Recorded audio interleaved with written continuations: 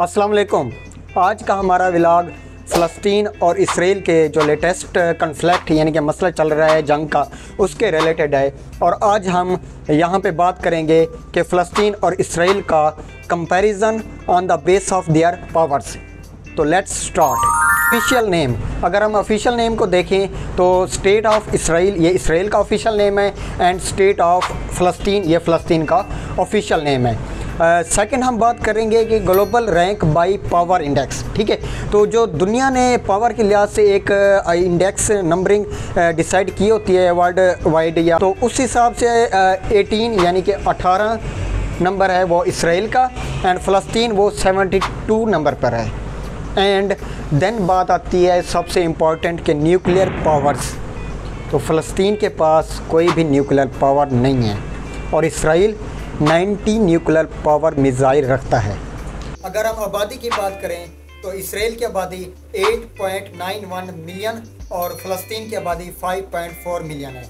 Active personal यानी कि army के एक्टिव सोल्जर्स कितने हैं? तो 1.73 लाख यानी एक लाख तिहत्तर हज़ार आर्मी के पर्सन इसराइल के पास हैं और एक लाख पाँच सौ अड़तालीस पर्सन या फौजी वो फ़लस्तीन के पास हैं। रिजर्वर पर्सनल इसराइल के पास चार लाख पैंसठ हज़ार रिजर्वर पर्सनल आर्मी के हैं और फ़लस्तीन के बाद अड़तालीस हज़ार पाँच सौ अठहठ यानी कि forty eight thousand five sixty eight person army के मौजूद हैं, जो अभी आर्मी को ज्वाइन करने के लिए रेडी बैठे हैं। पार्लियामेंट्री फोर्सेस की बात करें तो आठ हज़ार इसराइल के पास हैं एंड सतावन हज़ार, यानी कि फिफ्टी सेवन थाउज़ेंड वो फ़लस्तीन के पास है तो यहाँ पे हम एक नंबर ऊपर हैं, ऐसे समझ लें।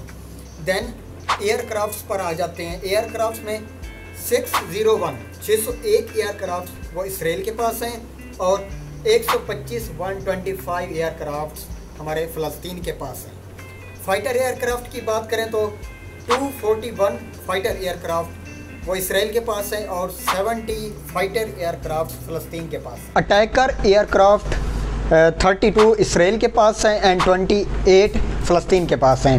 ट्रांसपोर्टर्स एयरक्राफ्ट फिफ्टीन इसराइल के पास हैं एंड जस्ट थ्री फ़लस्तीन के पास हैं। ट्रेनर एयरक्राफ्ट में 153 इसराइल के पास हैं और 20 फ़लस्तीन के पास हैं। देन हम नेक्स्ट मूव करते हैं तो स्पेशल मिशन एयरक्राफ्ट 23 इसराइल के पास हैं और ज़ीरो फ़लस्तीन के पास हैं। एरियल टैंकर की बात करें तो 11 एयर टैंकर्स इसराइल के पास हैं एंड फ़लस्तीन के पास ज़ीरो एरियल टैंकर्स हैं। देन हेलीकॉप्टर्स 126 हेलीकॉप्टर्स इसराइल के पास हैं एंड फ़लस्तीन के पास 58 हेलीकॉप्टर्स हैं। देन आ जाते हैं अटैकर हेलीकॉप्टर्स तो 48 अटैकर हेलीकॉप्टर्स इसराइल के पास हैं एंड फ़लस्तीन के पास 34 हेलीकॉप्टर्स हैं। टैंक्स की बात करें तो ओवरऑल 2200 टैंक्स इसराइल के पास हैं एंड 1159 यानी ग्यारह वो फ़लस्तीन के पास हैं। मोबाइल रॉकेट प्रोजेक्टर्स की बात करें, जिसका रिसेंटली फ़लस्तीन ने बहुत ही अच्छा यूज़ किया है 300 मोबाइल रॉकेट प्रोजेक्टर्स वो इसराइल के पास हैं एंड फ़लस्तीन के पास 689 छः सौ उनानवे फ़लस्तीन के पास हैं, ठीक है? दैन टोटल अगर हम नेवल एसिड्स की बात करें तो 67 वो फ़लस्तीन इसराइल के पास हैं एंड 35 फ़लस्तीन के पास हैं। लास्ट में हम सब मरीन यानी कि अबदोज़ की बात करते हैं तो इसराइल के पास पाँच अबदोज़ हैं और फ़लस्तीन के पास ज़ीरो ये था हमारा कंपैरिजन दोनों के दरमियान एक पावर बेस पे। नौ बात करते हैं कि कौन इस जंग में जीतेगा? तो इसका फ़ैसला डेफिनेटली हम एज़ अ मुस्लिम ये कह सकते हैं कि ये अल्लाह पाक को ज़्यादा ही मंजूर होगा जो वही ही होगा।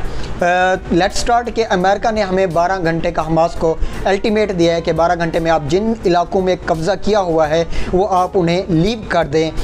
तो अमेरिका को पहले ये सोचना चाहिए, यानी कि अपनी हिस्ट्री देखनी चाहिए कि अफ़गानिस्तान पर 10 साल हमला करने के बावजूद भी वो कैसे दम दबा कर तालिबान से भागा है। और आज आप देख सकते हैं अफ़गानिस्तान में एक कैसे खुद मुख्तियार हुकूमत कैम है।